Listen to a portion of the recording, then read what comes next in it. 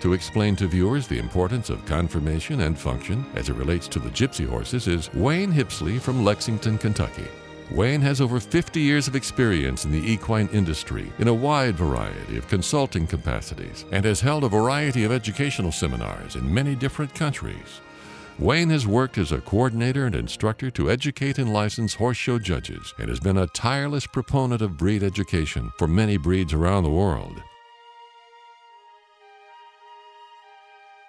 We're going to talk about how to evaluate and assess a Gypsy Vanner horse today. Not only uh, their conformation, but also their personality. You can tell by the sense of curiosity that we have uh, with this horse. He certainly is a very docile and friendly animal.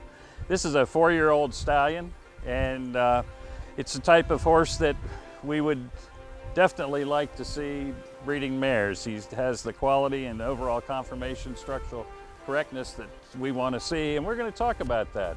Generally speaking, you want to look at conformation of the horse and the overall image, from top to bottom, front to rear. You want to gather an impression as to what this horse impresses you with.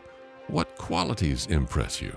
With gypsies, we want to look at feather, the forelock, the profuse tail, and other features. And we also want to look at the feathering on the horse, which starts above the knee in this particular case on the forearm going down the back of the cannon and then covering the hooves. And you'll notice that we see the same thing front and rear. We want to see a large bushy tail on the horse. And as we move the tail to the side, we can begin to see that the feathering on the hind legs is not quite as high, but still of sufficient quality. So those are just a few of the key points that we want to see on a Gypsy Vanner horse that helps distinguish it from other horses.